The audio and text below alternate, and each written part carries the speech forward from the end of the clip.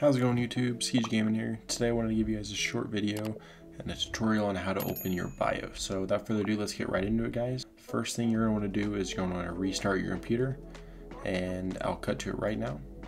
So I've just turned on my PC. This is where you'll want to pay attention. Somewhere on your screen, typically on the bottom, you will see a recommendation to enter BIOS. As you see on the bottom of my screen, it says press delete or F2 to enter BIOS. What you want to do is click the button of choice repeatedly until BIOS loads up. This will look different for everyone. Typically things like ROG runs on the same system, so don't be alarmed if yours is different. Sometimes computers also don't tell you what keys you should click. This is something that you can either Google or typically the F2 key works. It's kind of a default key, but if not, if that doesn't work, you can try Control Alt Delete and press delete repetitively until it loads up. Once you've entered your BIOS, you can scan around, mess around, and mess with all the settings. And if this video does get 100 likes, I will be doing a full BIOS guide for the Asus ROG system.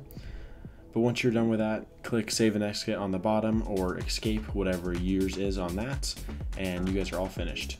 Awesome. Thank you guys so much for watching. I hope you learned something new. If you did, make sure to leave a like, subscribe, and comment, and make sure to turn the bell on for future notifications. Peace.